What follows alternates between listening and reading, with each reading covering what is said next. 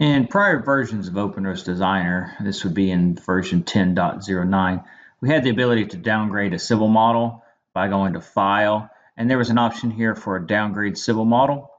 In the 10.10 and newer versions, the downgrade civil model option has been moved under the civil tools. So we come here to File to open up the backstage, go to Civil Tools, and we can go to Downgrade DGN. So this will give us a warning that it may result in loss of data because we are downgrading our civil schema from a newer version to an older version. So once the downgrade civil model dialog appears, we have the ability to downgrade just the current DGN file that will downgrade the DGN to a selected version, or we can download folders and all subfolders. So if we want all data that is within a project, we can browse to a specific folder, say open, and that will browse to that specific folder that would contain our data.